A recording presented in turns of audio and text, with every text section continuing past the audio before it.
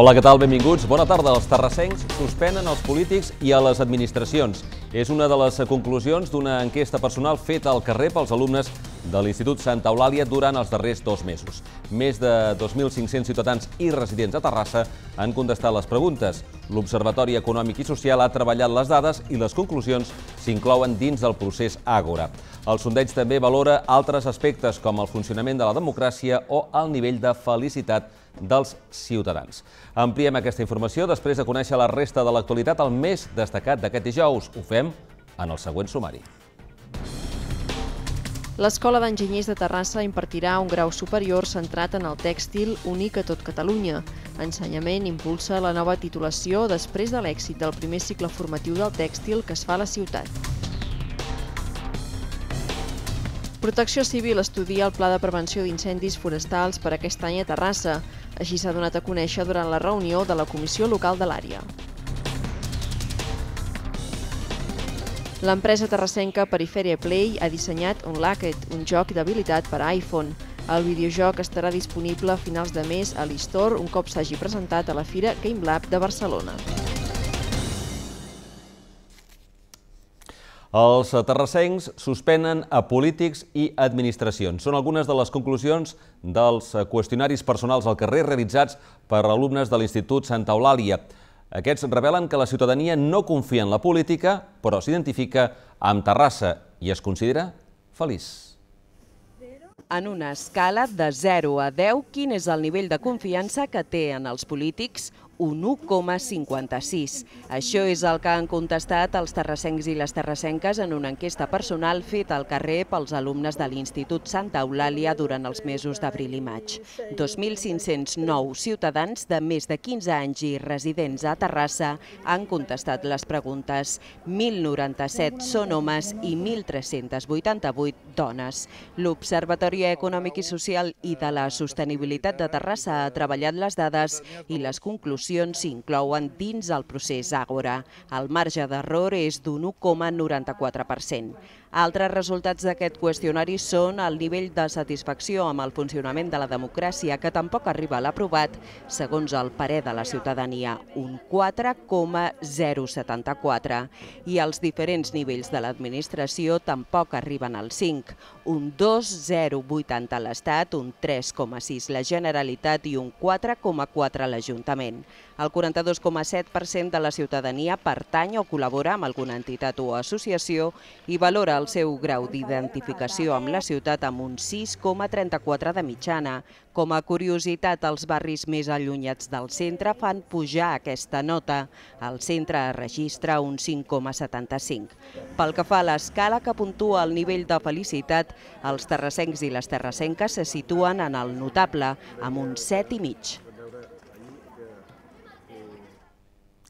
Terrassa serà l'únic lloc de Catalunya on es podrà cursar un grau superior dedicat al tèxtil. L'Escola d'Enginyeria ja imparteix un curs formatiu que va començar l'any passat. Després de l'èxit d'aquests estudis, ara s'amplia la formació i també es podrà cursar un grau sobre noves tècniques tèxtils amb productes menys abrasius i més ecològics. L'Escola d'Enginyers de Terrassa acollirà un curs de grau superior centrat en el tèxtil, l'únic d'aquestes característiques que s'impartirà a tot Catalunya. Ensenyament impulsa aquesta nova titulació després de l'èxit del primer cicle formatiu del tèxtil que des de fa dos anys es fa a Terrassa i del qual aquest curs en sortirà la primera promoció. Aquest dimecres el director dels serveis territorials, Lluís Baulenes, ha visitat l'Escola d'Enginyers on s'imparteixen les pràctiques d'aquest curs sobre el tèxtil. En la visita ha estat acompanyat pel director del centre, Xavier Canyabate, i pel director de l'Institut Terrassa, Lluís Meia, on s'imparteix la part teòrica del curs. Baulenes ha destacat que aquest és el primer curs del tèxtil que es fa a Catalunya, un curs inclòs en la formació dual, és a dir, aquella que es fa en col·laboració amb les empreses i demandes del mercat laboral. En els cursos s'ensenyen tots els aspectes relacionats amb el món del tèxtil, des de la concepció del teixit passant pels seus tractaments, la tintura o l'estampació, el disseny i tot tipus d'acabats. El centre imparteix les noves tècniques relacionades amb els teixits, amb l'utilització de productes menys abrasius i tractaments més ecològics i respectuosos que els de fa uns anys. El cicle del tèxtil i el pròxim curs de grau superior es fa gràcies a la col·laboració entre el Departament d'Ensenyament, la universitat que porta la maquinària i les instal·lacions i la Texfor, l'associació d'empreses tèxtils. I us parlem tot seguit de la reunió aquest dimecres de la Comissió Local de Protecció Civil. Durant la trobada s'ha estudiat el pla de prevenció d'incendis per aquest any. La reunió també ha servit per informar sobre els plans específics i la seva homologació. La regidora de Protecció Civil, Eva Herrero, ha presidit aquest dimecres al matí la reunió de la Comissió Local de Protecció Civil. Durant l'acte s'ha ofert informació sobre els plans específics tramitats a la Comissió de Protecció Civil de Catalunya per a la seva homologació. En la trobada també s'ha tractat el decret del 2010 sobre autoprotecció i s'ha estudiat l'informe per a la seva aplicació per part de Protecció Civil de l'Ajuntament. D'altres temes que s'han tractat relacionats en aquest àmbit han estat l'informe de gestió corresponent a l'any 2013 i el Pla de Prevenció d'Incendis Forestals per aquest any. La Comissió Local de Protecció Civil és l'òrgan col·legiat de caràcter consultiu que coordina i homologa les accions en aquesta matèria a la ciutat. Una de les seves finalitats és l'aplicació i el desenvolupament de la normativa general de protecció civil en l'àmbit local. La bandera republicana uneix el Raval de Montserrat al mateix edifici de l'Ajuntament de Terrassa. Iniciativa per Catalunya Verds, Esquerra Unida i Alternativa ha col·locat en el balcó de les seves dependències, del grup municipal, una bandera de la República i al seu costat la senyera. Les mateixes banderes també estan col·locades en el balcó de la seu, que la formació política té seu que està situada davant de l'Ajuntament.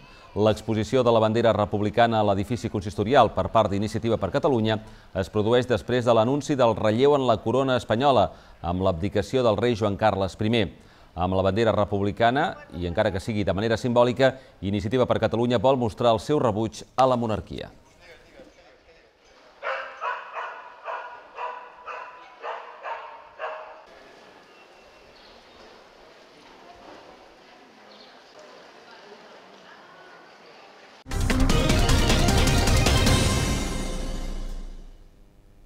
L'empresa Panrico ha presentat un expedient de regulació temporal d'ocupació a la planta de Santa Perpètua de Mogoda. En un comunicat, la companyia diu que ha decidit prendre aquesta decisió per començar a desencallar el conflicte, que ja fa gairebé 8 mesos que dura, i perquè els treballadors comencin a cobrar també l'atur. L'empresa assegura que pren la decisió sense esperar una hipotètica desconvocatòria de vaga, seguint la recomanació que els va fer la Generalitat a la reunió de mediació d'aquest dilluns. En aquesta trobada, el govern va instar totes dues parts a donar algun senyal positiu i inequívoc per posar fi al conflicte. A l'empresa li va demanar la presentació d'un expedient de regulació temporal d'ocupació i als sindicats que desconvoquessin la vaga.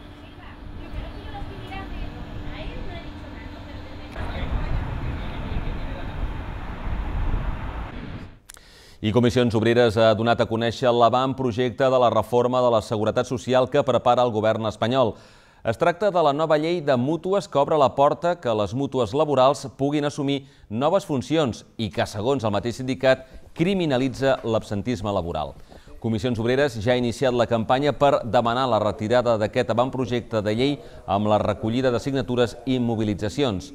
La campanya contra eh, la nova llei de mútues que s'ha presentat és un dels primers actes del sindicat després de la fusió de les delegacions de la Catalunya Central i el Vallès Occidental, que es va fer efectiva el passat dia 11 d'abril. Continuar la seva estratègia de poder acabar decidint un centenar d'alumnes de cinquè de primària de les escoles Cultura Pràctica i el Vallès han venut els seus productes en el Mercadal de Martí Lomà d'aquest dimecres. Són el resultat de les cooperatives que han creat dins el projecte Emprendre a la meva escola, una iniciativa de la Diputació i l'Ajuntament. L'any que ve hi podria participar una tercera escola. Aquestes parades són l'esforç d'un centenar d'alumnes de cinquè de primària que han participat durant tot el curs en el projecte Emprendre la meva escola. La iniciativa consisteix en crear una cooperativa i per aconseguir-ho, els estudiants han de fer servir els coneixements que reben en les diferents assignatures. A més, són responsables de tots els passos, des del disseny del projecte, demanar els permisos necessaris, aconseguir els diners i elaborar el producte final. Aquest dimecres l'han posat a la venda al Mercadal de Martí Lomà, on han rebut la visita de diversos responsables polítics municipals. Per als estudiants de Cultura Pràctica, aquest ha estat el seu segon any. Des del primer moment estan molt engrescats, a més, al seu segon any ja ho coneixien de l'any passat de l'escola i llavors bueno, comencen amb molta il·lusió, moltes ganes i a mida que van fent i van vivint el projecte, pues, bueno, cada vegada més, no? fins avui que bueno, estaven tots emocionadíssims al poder vendre tot el que han fet. No? Al principi costava una mica, però ja, com ten, ja al fer els productes ja teníem una mica més d'experiència, llavors ara ho venem. Sí, ha anat molt bé, s'han acabat alguns productes, però encara en queden alguns, esperem vendre'ls. Per l'Escola al Vallès aquesta ha estat la primera vegada que hi participen. Valoren especialment el treball en equip i, sobretot, els valors. Sobretot el que és el tema de la cooperació, de l'ajudar-se, del cometre errors i, i saber solucionar les coses que els hi surten, fer hipòtesis i que després els hi surtin bé, no els hi surtin bé, tot aquest tema així més global i més de, de valors i tal, també ens ha anat molt bé. Els diners que recullen amb la venda dels productes es destinen a cobrir el cost del projecte i també té fins solidaris. Bueno, el 10% li donarem a una ONG que es diu Oxfam, Intermón, i si en sobre farem a alguna, alguna cosa amb els altres diners, tota la classe junta. La Diputació de Barcelona és la impulsora d'aquest projecte d'emprenedoria a les escoles amb la col·laboració de l'Ajuntament de Terrassa. Veus que és una cultura d'emprenedoria que ja la tenen doncs, al llarg de la vida, no? cultura emprenedora més que mai fa falta, no en el sentit que tothom ha de muntar una empresa, no? sinó que és una filosofia de vida. I veiem des de Diputació de Barcelona doncs, que, que té molt èxit. Potser el de menys és el producte final, no? però com gestionar, eh, com crear, com elaborar, com redefinir uns estatuts del que és una cooperativa. Per tant, això aquí hi ha molts valors que, que es treballen i molts aspectes integrals de la, del propi procés educatiu de, dels nanos. No? Els responsables valoren molt positivament l'experiència i aposten per la seva continuïtat. Abans no s'acabi el curs es coneixerà el nom d'una tercera escola que hi podrà participar l'any vinent. Un dels sectors que està patint poc la crisi és el relacionat amb les noves tecnologies. L'empresa terrassenca Perifèria Play porta 10 anys en aquest àmbit creant aplicacions per a dispositius mòbils, com ara telèfons intel·ligents o tabletes. Ara, però, han decidit apostar per un videojoc per a iPhones. Perifèria Creative, una petita empresa de Terrassa que es dedica a la comunicació i a les aplicacions mòbils, ha fet el salt al desenvolupament de videojocs. Sota la nova marca Perifèria Play, a finals de juny sortirà Unlock, de moment només per iPhone. Aquest nou room s'ha decidit després de 10 anys treballant per a tercers i amb les ganes d'impulsar un projecte propi. Unlock busca el que busquen la majoria de jocs per a mòbils, que sigui intuïtiu, fàcil i ràpid de jugar, que enganxi i que esdevingui un repte per l'usuari. El joc ens posa en la pell d'un lladre sou al qual se li encomanen diverses missions per tota Europa, començant per Barcelona. A mesura que anem passant nivells, la dificultat augmentarà. La mecànica, diuen els seus creadors, és única i totalment nova en aquest tipus de jocs. Hi ha eh, eines que hem de, de, de deslizar, eh, de, hem de fer taps, hem de colpejar la pantalla... Eh, són gestos molt fàcils que fem habitualment amb l'smartphone, però que es combinen d'una manera sorprenent i amb un grafisme que creiem que, que sorprendrà. Un dels aspectes més difícils d'establir per l'equip de Perifèria Play ha estat ajustar el nivell de dificultat després de tastar-lo. I hem vist que realment era un pèl difícil i el que hem fet és anar ajustant fins a la versió que tenim ara, que és força més accessible, tot i que mm, considerem que, que és un joc eh, és, té un punt de repte important. Eh, és un joc d'habilitat, bàsicament, no, no és un trencaclosques, és, és un, un joc amb, amb, per jugar amb els dits. En Loc es presentarà el proper Game Lab de Barcelona, on concursa el Premi al millor joc espanyol del 2014. Les votacions es poden fer a través del Facebook. No deixem les notícies relacionades amb les noves tecnologies perquè un jove emprenedor valencià i resident a Terrassa ha creat una nova aplicació que fa accessible a internet a les persones amb baixa visió. L'ha batejat com a Caitana. Es tracta d'un software que, utilitzant els darrers estàndards de reconeixement de veu, permet enviar missatges o consultar pàgines web. Fer accessible internet a les persones amb baixa visió o cegues. Això és Keitana, una nova aplicació programada per Lluís Peris, un jove emprenedor valencià que viu a Terrassa des del 2012. Utilitzant els darrers estàndards de reconeixement de veu, és possible enviar un missatge, fer servir un cercador o veure el perfil d'un amic a Facebook. La idea va sorgir quan Peris va veure un documental sobre la vida d'una persona cega i les seves dificultats diàries per fer qualsevol tasca. Recordé entonces lo fácil que era para mí cuando estaba en mi cama, me despertaba, cogía el móvil sin moverme y estaba chateando con una amiga que estaba a 300 kilómetros y con, con un familiar que tengo en Sudamérica, sin moverme, con una facilidad increíble. Entonces pensé, ¿por qué no dar esta facilidad a las personas invidentes? Y a partir de ahí fue cuando empecé a programar eh, este software, que sea totalmente gratuito y open source para que la gente pueda estudiar el código, mejorarlo y, y al fin y al cabo hacer que crezca este proyecto. Eh, se puede usar esta, esta, esta aplicación en cualquier dispositivo que tenga navegador, ya sea móvil, tablet, ordenador o donde sea. L'aplicació està operativa des de fa una setmana i ja és viral a internet, Twitter i Facebook. Algunes associacions vinculades a l'Organització Nacional de Sex, universitats i mitjans de comunicació s'han interessat pel projecte. Lo que espero es que llegue a los máximos usuarios posibles y que la gente con discapacidad visual pueda navegar algún día por Internet igual que el resto de las personas, porque tecnológicamente es muy fácil. però no és rentable per a les grans empreses. A mig i llarg termini, Peris espera que una comunitat de programadors desenvolupin i millorin la seva aplicació.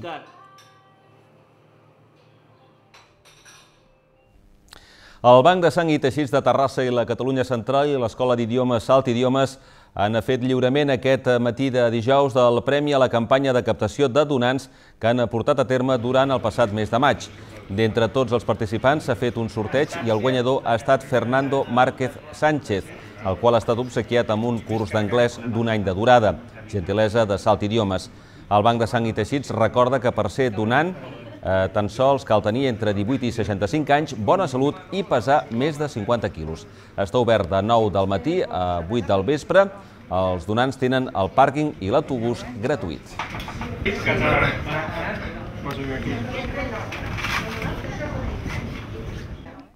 El tinent d'alcalde d'Hisenda i Serveis Generals i vicepresident de la Societat Municipal de Serveis Funeraris de Terrassa, Alfredo Vega, ha lliurat els ingressos del cicle El cinema i la mort 2014 al president de Creu Roja Terrassa, Marià Gallego. La quantitat recaptada ha estat de 2.694 euros. Aquest any, amb motiu del cicle, patrocinat íntegrament per la funerària de Terrassa, s'ha introduït la novetat que cada persona aportés un euro al rebost per contribuir amb la tasca humanitària que porta a terme en la distribució d'aliments a aquelles famílies que ho necessiten. L'acte s'ha fet en el repòs mateix.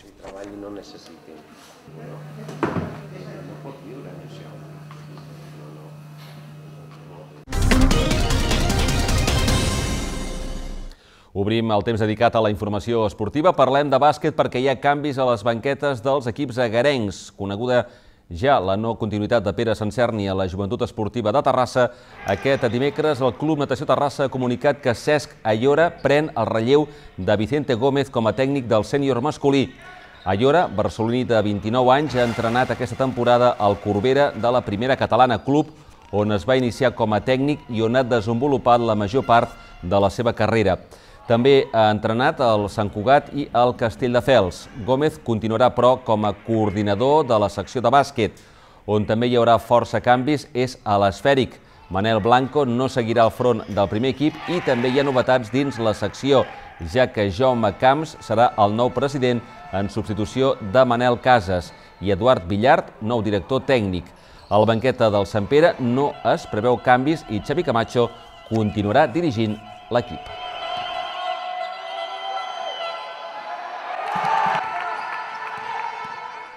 Parlem ara de la secció de triatló del natació i també del seu patrocinador. Cicles Morenito ha renovat per dues temporades més el contracte de patrocini amb el Club Agarenc. La signatura de l'acord s'ha fet aquesta mateixa tarda de dimecres a les instal·lacions del club, amb la presència del vicepresident de l'entitat, Jaume Álvarez, el director gerent de la botiga, Daniel Moreno, i el delegat de la secció de triatló del natació, Dani Charles.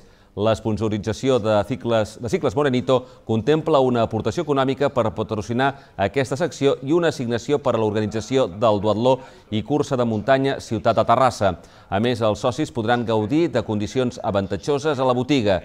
Charles ha destacat la tirada que té aquest esport i ha avançat la nombrosa participació de triatletes de natació a l'Ironman de Vitoria. Aquest any Eh, bàsicament, eh, el més important, el que més podem destacar, és que farem una comitiva de gairebé 30 persones a l'Ironman de, de Vitoria, el mes de juliol, que no havíem fet mai. Sembla que està amb el boom aquest que hi ha entre eh, del triatló i de la llarga distància, realment eh, la gent s'ho ha agafat amb, amb ganes i mira, aquest any serem eh, el club amb més presència ja a l'Ironman de, de Vitoria, es van suspendre fins i tot els organitzadors de que anéssim eh, tanta gent allà. El triatló és un esport que mica en mica cada vegada està agafant tirada, cada vegada ens ve més gent allà a reparar les bicis pel diumenge que té la cursa, que no sé què, que no sé quanto. Això vol dir que aquí s'està fent una feina, eh, jo crec que de primera.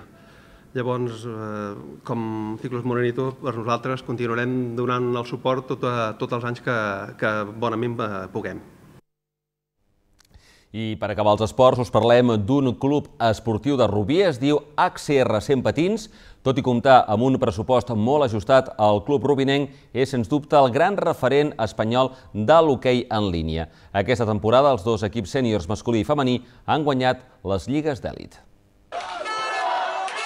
Guanyar la Lliga no és fàcil i fer-ho per partida doble encara menys. 20 anys després que un grup d'amics es posessin uns patins en línia i fundessin el Rubi 100 Patins, el club s'ha convertit en un dels grans d'aquest esport. L'èxit s'ha materialitzat amb el doble triomf a la Lliga Elite dels equips masculí i femení. El doblet encara té més mèrit si analitzem el pressupost del club, molt allunyat del d'alguns dels seus rivals. És un pressupost just, has de pensar que els jugadors paguen per, per jugar i tenen des dels més petits fins ells tenen una, una quota mensual que això ens permet a tot el club que puguin doncs, afrontar aquestes dues lligues d'èlit. L'ajustat pressupost queda demostrat amb el fet que tots dos equips comparteixen entrenador. I no només això, sinó que el tècnic, a més, és també jugador. Tenemos un grupo de jugadores que hacen mi trabajo muy fácil. De nombres a nombres tenemos un equipo con mucho talento, pero nos, el factor es jugar en equipo. Eh, somos un equipo que no tira el carro d'un jugador. El Club Rubinenc és l'entitat d'hoquei en línia que a dia d'avui té més fitxes federatives. Doblem categories des de pre-benjamí, de benjamins en tenim tres i doblem, com et deia, tant amb la via infantil, a part del juvenil, tenim un sènior B, sènior B aquest any eh, també jugarà a Lliga Nacional, que passa amb la categoria plata, perquè és una manera que ens faltava que tota la, la canalla que, que està pujant doncs ja pugui iniciar-se en una competició amb un cert nivell per poder fer el salt a l'èlit. Tot i els èxits del club, però, els jugadors troben a faltar que les graderies del pavelló Francesc Calbó s'omplin en cada partit. Per fomentar la pràctica de l'hoquei en línia, el club té un acord amb les escoles de Rubí, a través del qual s'ensenya als nens i nenes en què consisteix aquest esport. I amb aquesta informació arriba ja el moment d'acomiadar les notícies. Canal Terrassa Vallès seguirà amb més informacions. També poden seguir l'actualitat a través de la Ràdio Municipal de Terrassa, la 95.2, també per internet, a les xarxes socials i al portal terrassadigital.cat. Gràcies per la seva atenció. Bona tarda.